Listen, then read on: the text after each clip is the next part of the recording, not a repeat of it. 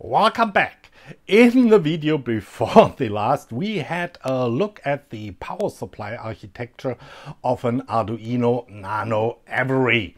And we did some experiments, well, basically driving that thing into a brownout and starving it of supply voltage until it stopped working and measuring several voltages here on the board. Uh, card here, link in the description. However, what we couldn't observe was a brownout reset.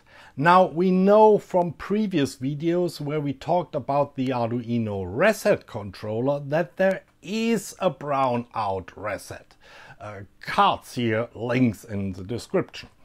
However, the ATmega 4809 on our Nano Every obviously doesn't issue a brownout reset. And that's probably caused by uh, the configuration of the brownout detector of that Mega AVR Series 0 chip by the Arduino environment. So in this video we will have a closer look at that brownout detector of the ATmega 4809 Oh and we will determine why exactly it doesn't issue a brownout reset and what we might be able to do about it.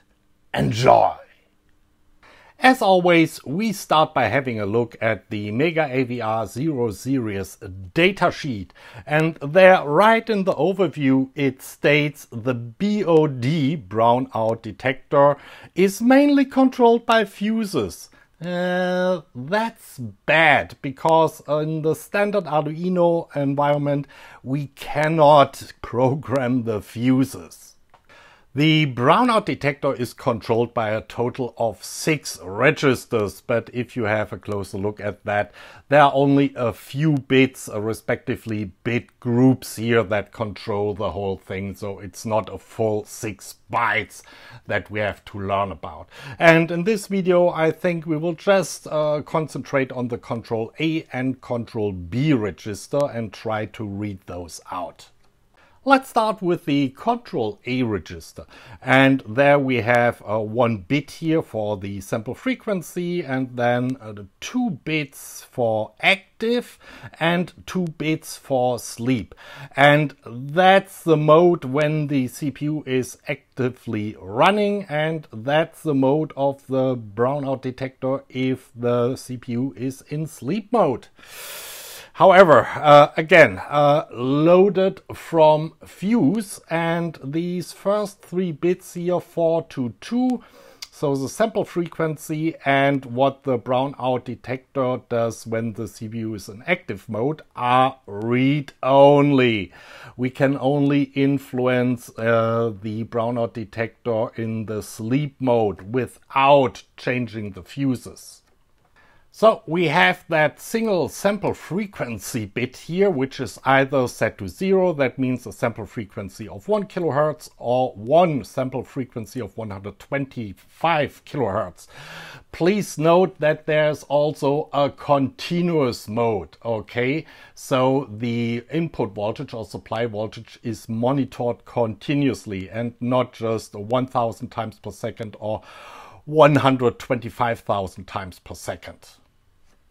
If you actually use the sample frequency or do a continuous measurement of the supply voltage in the CPU being active mode is defined by the two active bits here, which can be 00 disabled 01 enabled, meaning continuously monitoring of the supply voltage, and then 10 sampled, yeah, using the sampling frequency, and then 11 enable with wake up halted until brownout detector is ready. That is, if you are in sleep mode and everything is off, the CPU only comes back into active mode when the blackout detector, brown, sorry, brownout detector is already up and running. Finally, we have the same two bits for the sleep mode, uh, but with the same combinations, but for 1 1, which is reserved because we are in sleep mode. So this really determines if the brownout detector is running in sleep mode and also sucking some current, of course. The control B register, which is also loaded from a fuse and is also read-only, contains just a 3-bit field uh, brownout detection level. And that can be set either to 1.8 volts, 2.6 volts or 4.3 volts. If you run your Arduino at 5 volts, um, yeah, your Arduino Nano Every, at least the ATmega 4809 runs at 5 volts, you would usually choose the 4.3 volts at your as your brownout detection level, where you would stop working and wait until until the supply voltage recovered above a value of 4.3 volt and then issue a reset, a brownout reset. Let's get over the sketch I've written to read out that Control A and Control B register of the brownout detector. Uh, we need that include here the AVR because there are all the definitions for the Mega AVR registers and bits are included. Uh, the rest is old code from the uh, previous video about the power architecture and the videos before, so we can just ignore that. Uh, within the setup, I just initialize my serial interface on USB and then I call print brownout detector config. Uh, the loop is empty, uh, do nothing else but print out the brownout detector config and then we come to the function, the core print out brownout detector config. Lots of brownout detector configs here. Huh? And that is defined, all these macros are defined, which I listed here in the uh, IOM 4809.h for the ATmega 4809 uh, which is included via the io.h. I already discussed how this include stuff works in the first video about, or in the video about the watchdog timer uh, card here, link in the description. Anyway, uh, the Windows path on the Windows installation uh, to these files is here.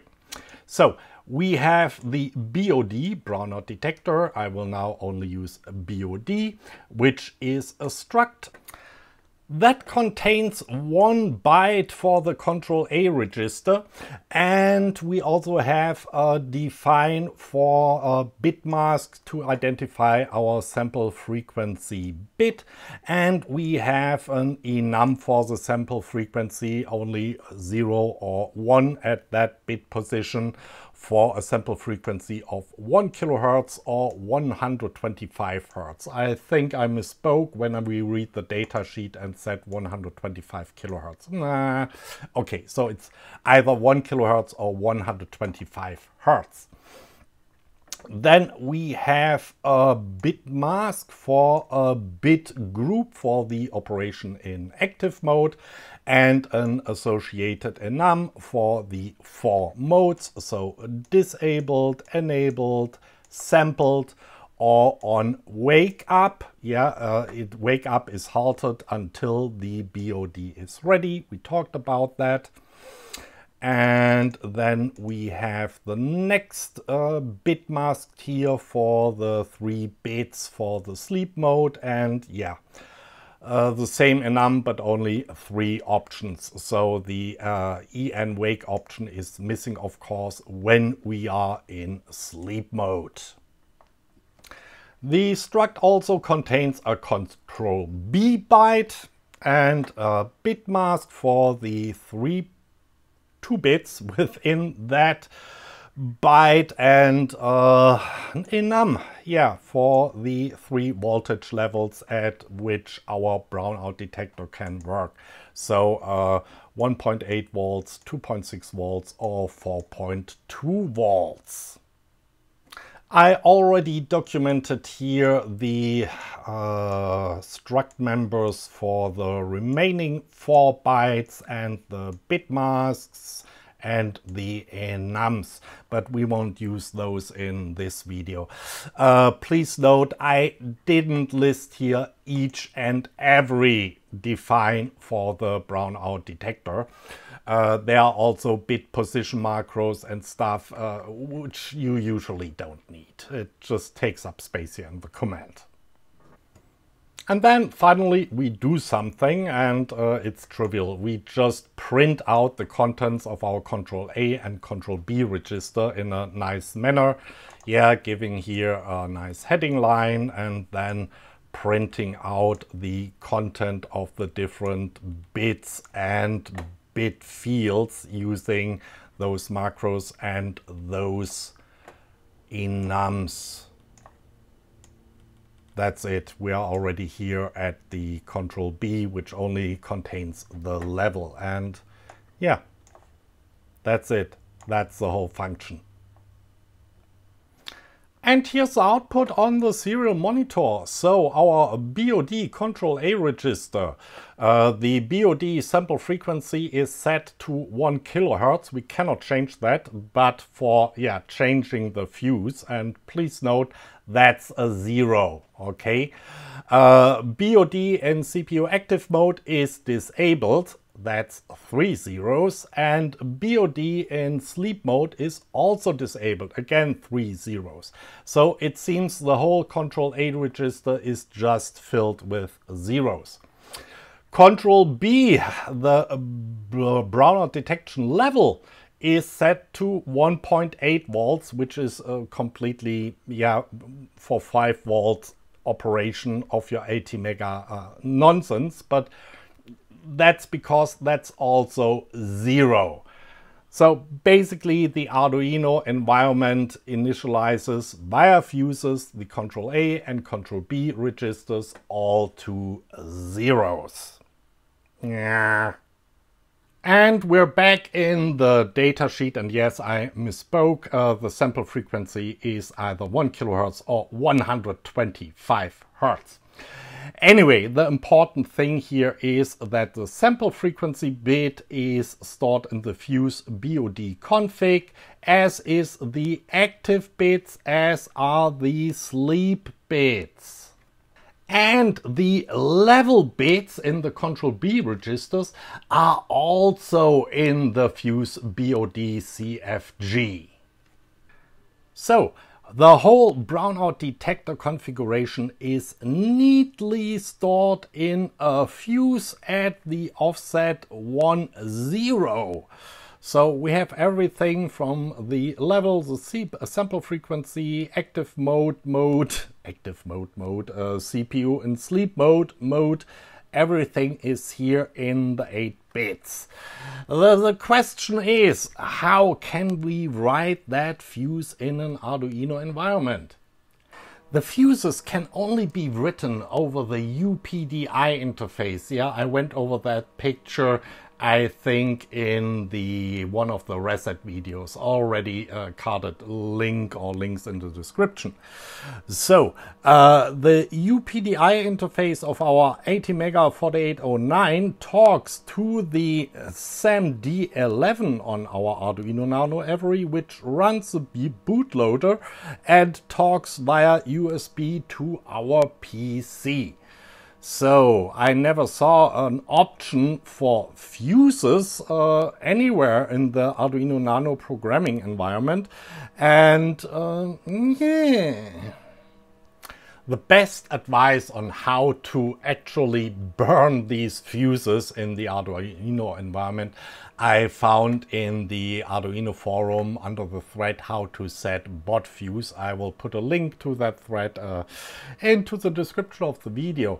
So what that guy here, westfw, uh, is basically suggest suggesting is we just call AVRDUDE uh, with the correct package option for the Arduino environment and with the pattern for our ATmega 4809 and that's basically our programmer. We're using the onboard programmer on our Arduino Nano Every in the SAMD11 uh, with the right port that should be our USB port and the right baud rate and then we can he says uh, use this command. Uh, ufuse one. One should be, yeah, the BOD fuse. Uh, write and then the value we write to it.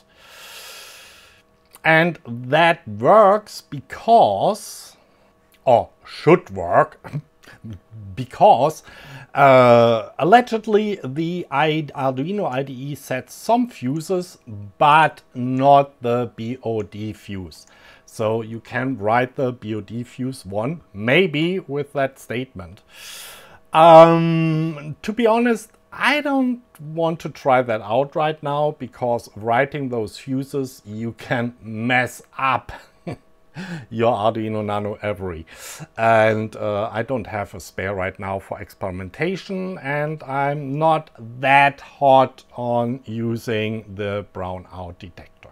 But maybe, just maybe, there will be a future video about that. And that's it for today. Uh, not very long and even less satisfying video, uh, but we identified the problem and maybe if the weather gets a little bit, uh, yeah, uh, less hot again. I already have now, it's about uh, noon, uh, over 30 degrees Celsius here in my lair. I might revisit that and try to present you with a verified working version for burning that BOD fuse on an Arduino Nano Every. Till then, bye.